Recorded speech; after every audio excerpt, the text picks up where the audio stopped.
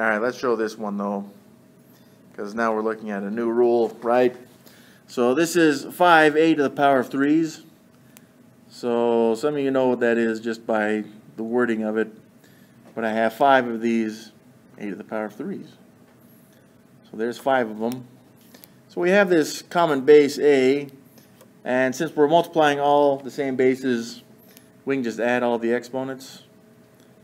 Um, hopefully you guys hate this as much as the old time mathematicians did because that's why they kind of created this multiplication thing, right?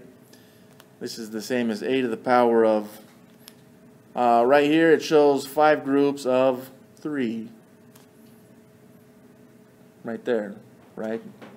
So we can simplify addition with multiplication and make this a to the power of 15.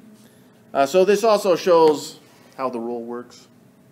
I mean, I switched those numbers around, but uh, again, with the commutative property of multiplication, it wouldn't matter if we did 3 times 5 or 5 times 3 right here, okay?